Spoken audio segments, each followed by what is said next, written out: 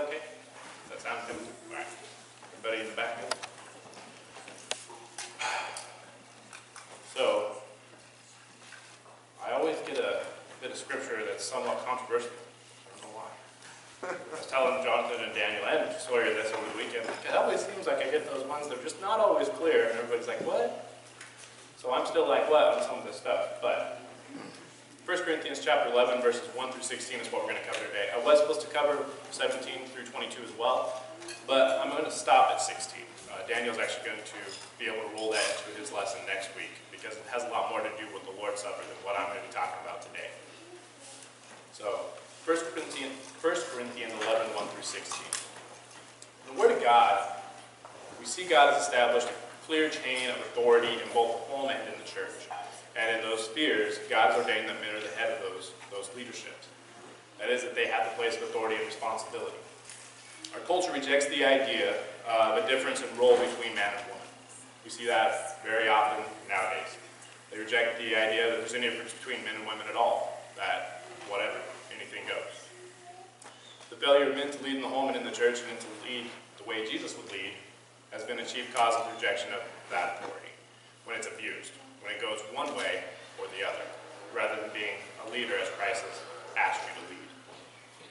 Some feel that this recognition and submission to authority is an unbearable burden, that, that somehow you're saying I'm inferior, that I'm nothing, that I have no value. And that's the opposite of the truth.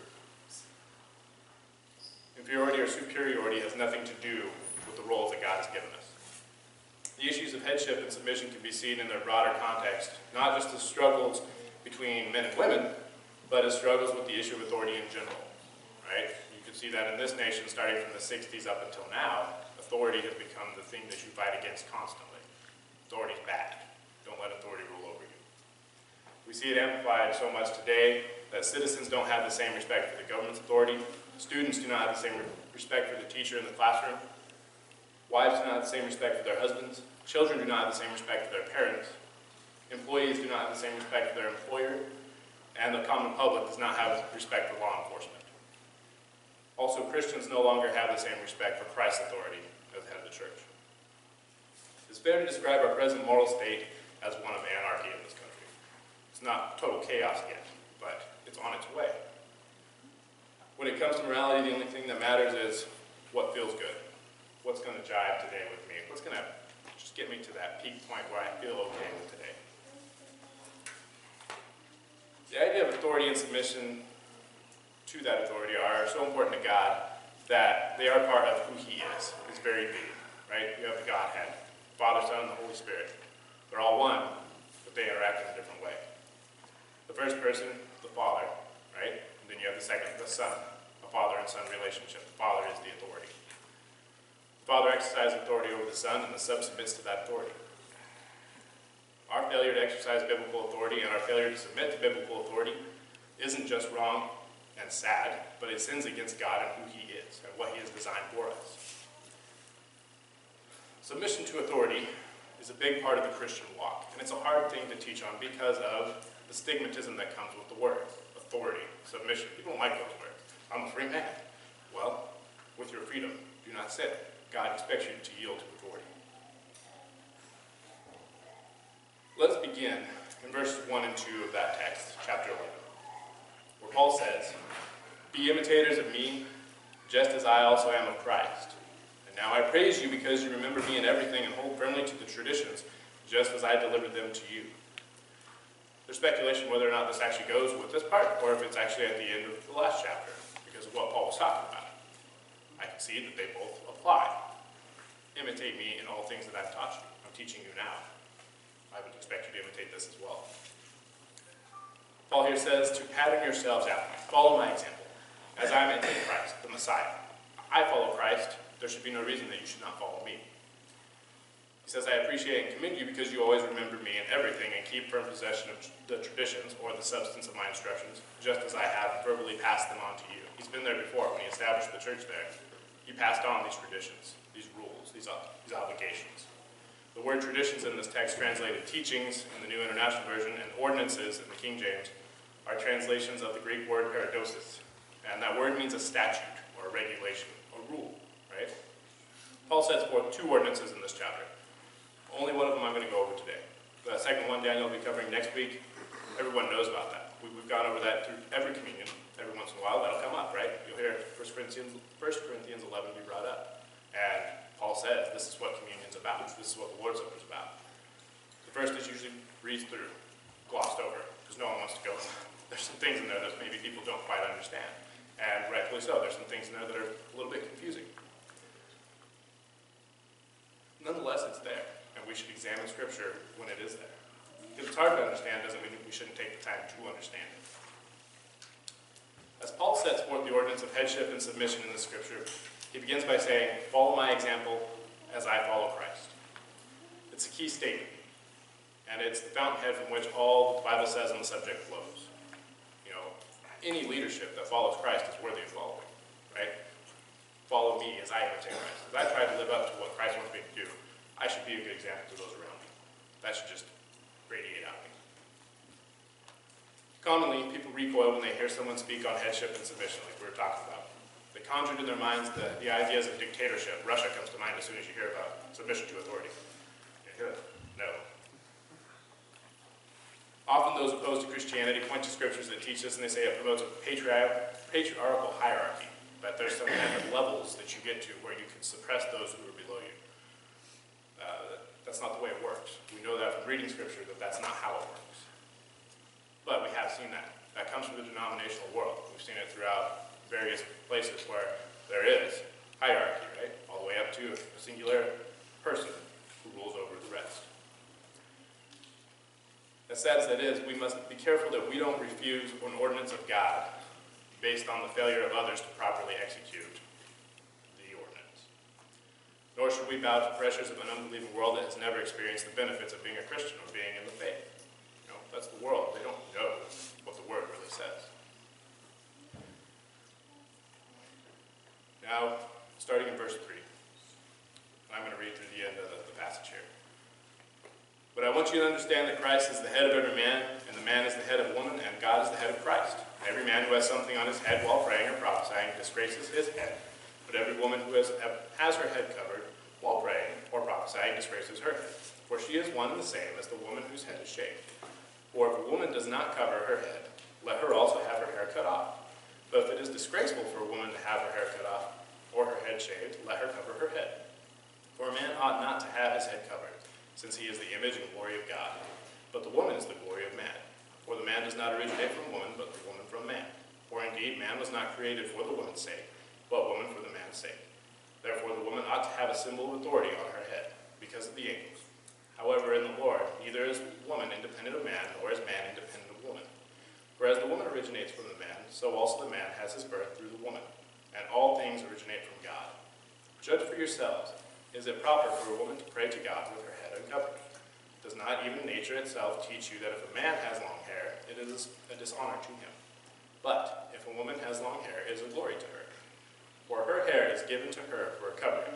But if one is inclined to be contentious, we have no other practice, nor have the churches of God. Paul speaks weird stuff, right? We know that. I don't want to go too much into the details of the things that we usually get hung up on in these verses, which is the head covering or the angels. Those two things really come out to people like, well, what about those two things? We really get to the root of what Paul's talking about. What is Paul talking about? He started it talking about authority and headship, right? And honor and dishonor. Focus on those things. That's Paul, Paul's getting at those things. Those are the important things that Paul wants to bring out. Starting in verse 3, he outlines the order of headship for us. He says God, Christ, man, woman. God, he throws it out there. This headship order is not a denial of equality. He's not saying lesser or more. He is saying throughout the scriptures, we see that Jesus, the Son, is not inferior to the person of God, the Father or the Holy Spirit. The wonderful mystery of the Trinity is that three persons, yet one God.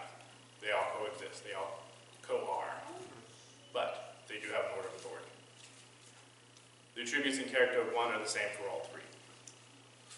Headship and submission are about redemption, the plan of God to recover something that was lost and restore it even beyond what it once was. That's us, the human race. The book of Philippians describes the extent to which this happened. Philippians 2, 5 through 11 says, Who being in very nature God, did not consider equality with God something to be grasped, but made himself nothing, taking the very nature of a servant, being made in human likeness, and being found in appearance as a man, he humbled himself and became obedient to death, even death on a cross. Can only marvel at the extent of our Lord's submission. That goes beyond any submission that any of us in here have ever accomplished, but we're all still living. Right? You came as being God to this earth, being a man, to death. We can't fathom that, like us doing that, because we've never been there. We've only been here. So, when it comes to equality, just as the Father and the Son are equal, so too men and women are equal. They are both human beings, comprised of two different purposes. Headship and submission is not about equality, but it is about roles. We all have different roles in that, as far as that goes. Our Lord's submission is an example for us to follow. In the order of headship and submission, as Christ submits to God, so should man submit to Christ. Christ should be every man's leader, their head. That's what we should follow. And in turn, it says wives should submit to their husbands. Headship only makes sense and only works when there is nothing broken in that chain. God, Christ, man, woman. Sure, there will never be a breakdown between God and Christ, right? They're one, co-eternal. That's never going to happen. As far as Christ's duty to man, he has fulfilled and continues to fulfill his duty to man and will never fail in that. But when it comes to man and his duty to Christ, and man and woman and their duties back and forth, yeah, there's some breakdown, right?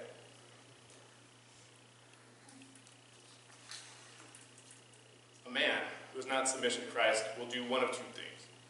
He will either abuse his role and dominate and, and be a dictator, or he will shrink from his responsibility and leave his wife to do all the heavy lifting, the leading. Both are bad. Both are uh, not, not so good, right? Not going to work.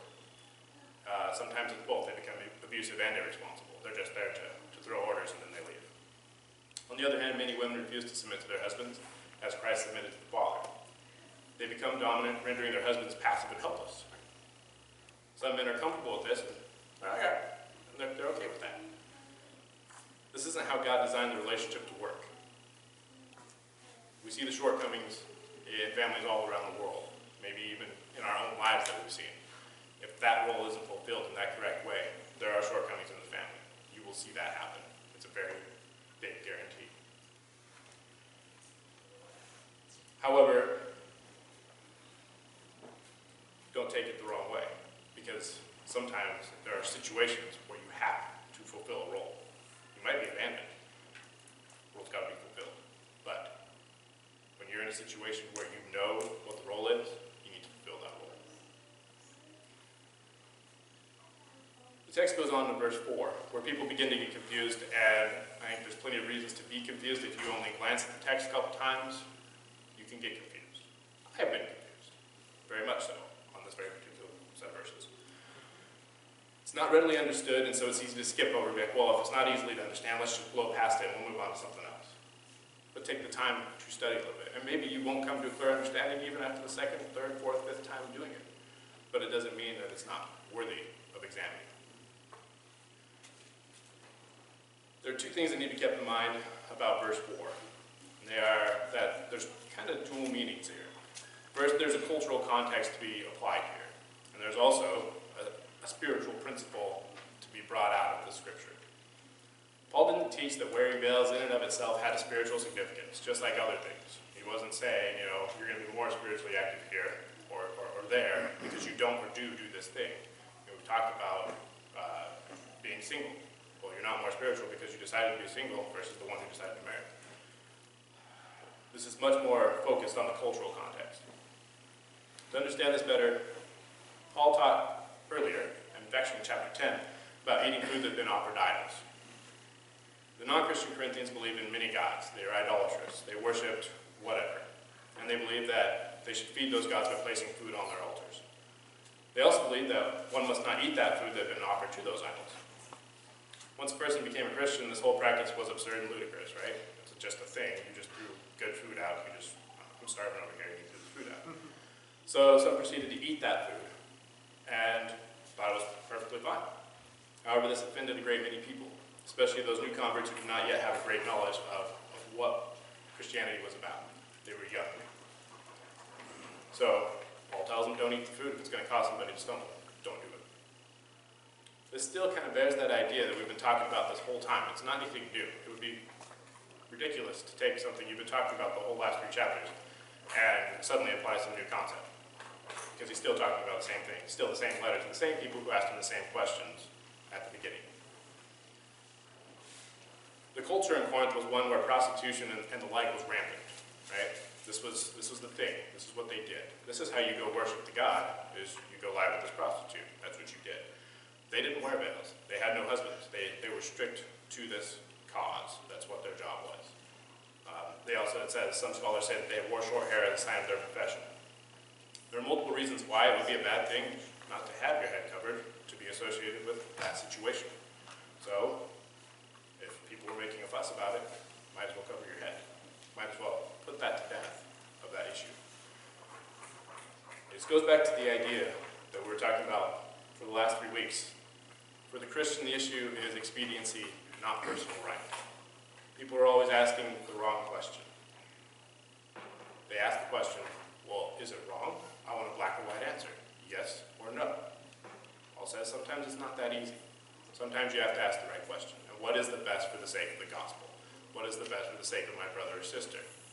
That's the question you should ask. Paul said it was best for them to wear this in order that onlookers would not think that the church practiced this and that there would be no issue. There's another issue here about honoring and dishonoring. At issue in this whole matter, headship and submission is talked about in verses 4 and 5 from that, from that idea of honor versus dishonor. We, we talked about the first meaning, which was the practical meaning of culture, which is what we just talked about. The second one is the spiritual significance. What spiritually is significant here with this situation? Mutual honor and respect is a key element in a husband and wife relationship, right? You gotta have mutual respect. Um, and any other headship submission relationship, you think of an employee and an employer, right? That relationship doesn't go well if you don't have mutual respect for one another. You still do it, but it's not great.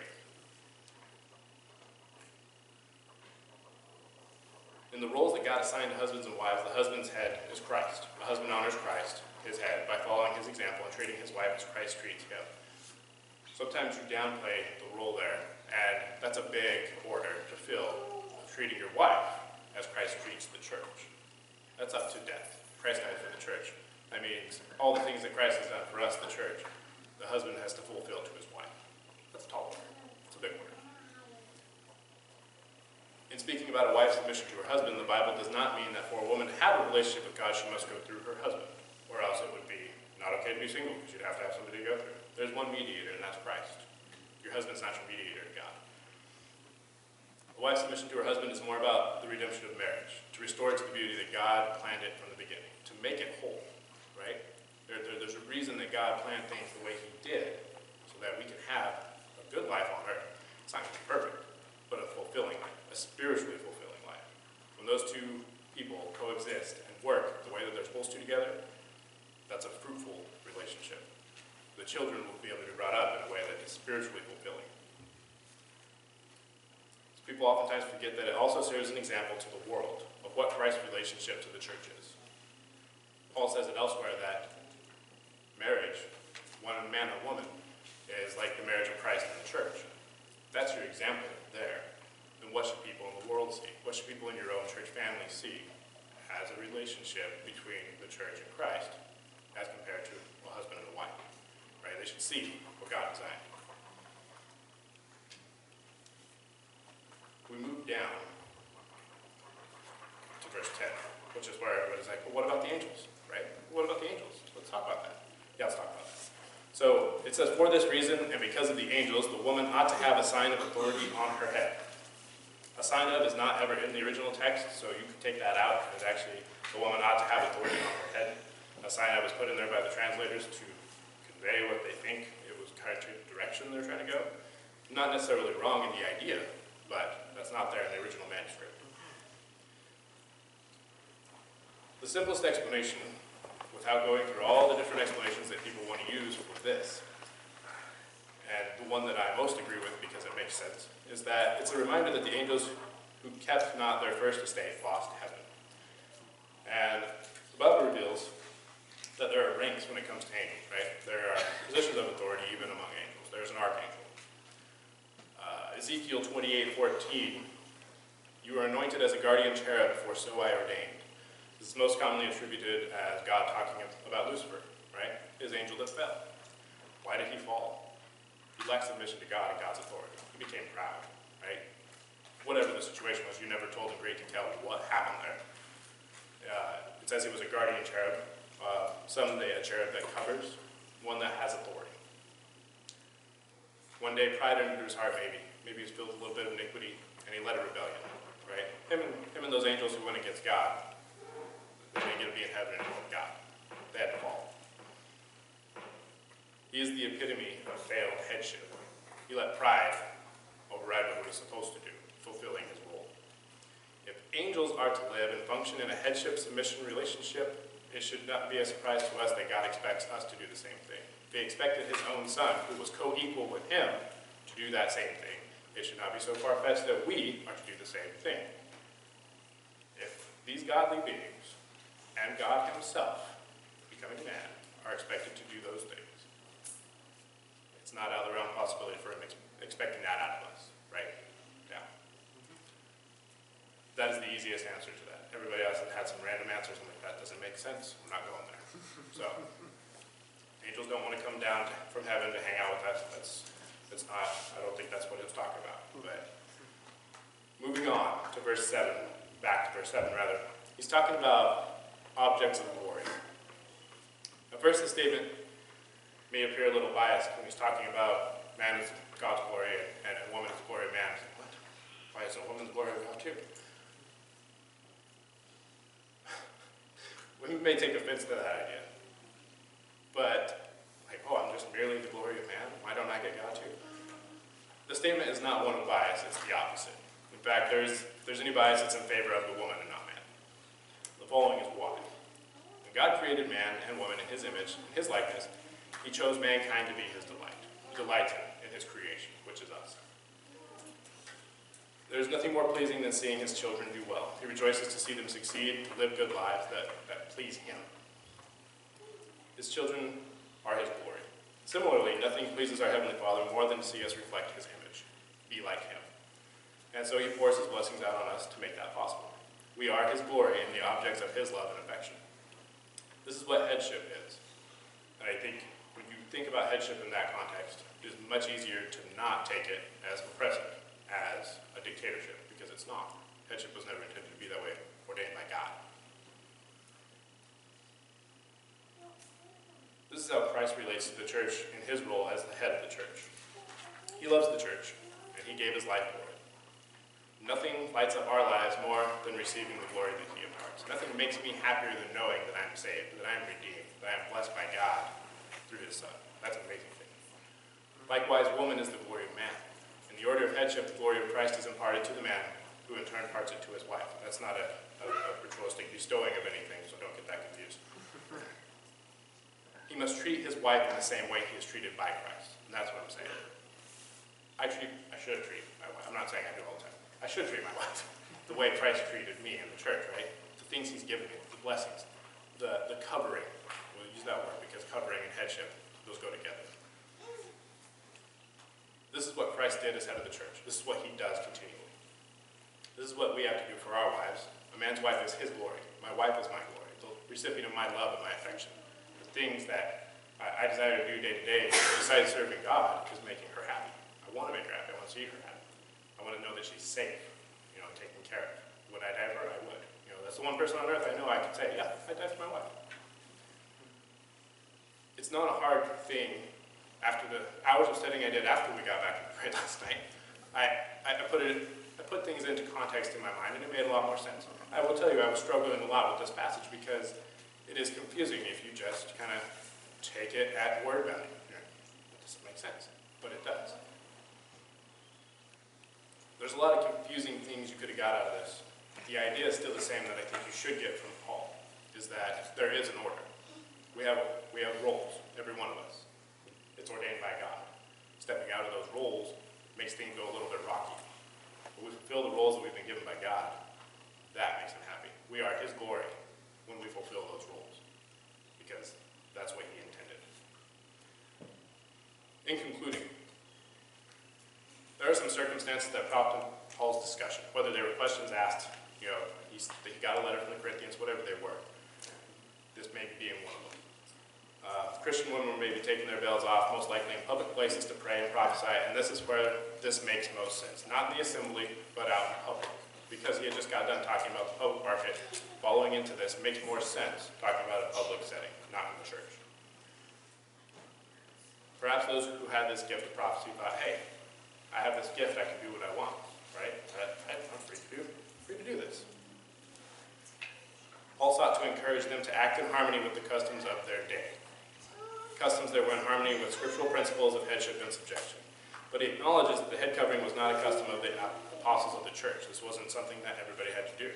This was specific. This was cultural. The main point Paul was getting at, and the reason this translates so well into the marriage application like it did today, is that the one he has been driving home all along, the single point of whatever you do, whatever you choose to do, needs to be done with others in mind. It should always be done not of self, but of others. With the betterment of those around you, and not done, done in a selfish self-fulfilling way, but a concern for your brother or your sister, or wife, or children. Submission is always looked at, especially in this country, as something that weak people do. We see so much in the news today about people fighting the police, fighting law enforcement. Like that's the thing to do because authority's out to get you. That's the opposite of what God desires us to do. We're supposed to live in peace as long as it depends on us. We submit to the authority that's there, as long as it doesn't go against God. It takes strong people to bear up under authority, not weak people. If the government ever becomes oppressive, we still have to bear up under it as long as it doesn't go against God. And so I think taking that into consideration, it's going to take an awful lot of strong Christians to do that thing. Daniel's portion is going to deal with a very important aspect of our worship. I was supposed to go through those verses, but this applied more together as one unit. I was trying to figure out how I was going to juggle those, and it just didn't make sense to juggle those two ideas. I want to end today's lesson with a passage from Ephesians 5, 15 through 21. It's a good reminder from Paul as we go back into our week, and I believe that the last verse of uh, this section really carries the attitude that we've been teaching over the past few weeks of going through 1 Corinthians, uh, of the heart of Paul, what he wants everybody who imitates him to do. He says, Therefore, be careful how you walk, not as unwise men, but as wise, making the most of your time because the days are evil. So then do not be foolish, but understand what the will of the Lord is. Do not get drunk with wine, for that is dissipation, but be filled with the Spirit. Speaking to one another in psalms and hymns and spiritual songs, singing and making melody with your heart to the Lord. Always giving thanks for all the things in the name of the Lord Jesus Christ to God, even the Father, and be subject to one another in the fear of Christ. It's hard to submit to, to, to people, oftentimes, especially if we don't get along all the time, especially if there's things that, just kind of rub us the wrong way. Paul learned to push those things aside, those mediocre things, those things that were minor, that didn't matter. They were very fleshly and just kind of, I don't need that. He was able to put those things off and become solely focused on what the goal should be, and that is the gospel, and get it out. Or lifting up the church, growing the church. That was his job. He submitted to God in everything. Saw how Paul lived. He submitted to God with his life. You know, and that, like I said before, that's a great example of Paul. To, to, to know that he gave up what he could have had as being a prominent Jew and all the things that he could have done as a prominent Jew, and totally casting that to the side, uh, working day to day and then preaching night. That's a big deal. He was able to cast off those things in the world that would take him from doing the work, all because he knew what was important. That's the lesson this morning. If there's any need to respond to the invitation this morning, if there's any need for prayers, uh, pray for me, because it is hard to submit. I go to work every day with a boss that I feel sometimes shouldn't be my boss. I still have to submit to God. Pray for me that I can do that. There are other areas in my life where I'm sure submission needs to happen. Submission to God fully in certain areas of my life. I know that needs to happen. So I ask that you pray for me there any need for those kinds of prayers, or if there's anybody here this morning who has not put Christ on in baptism, please come forward now as we stand and sing the invitation.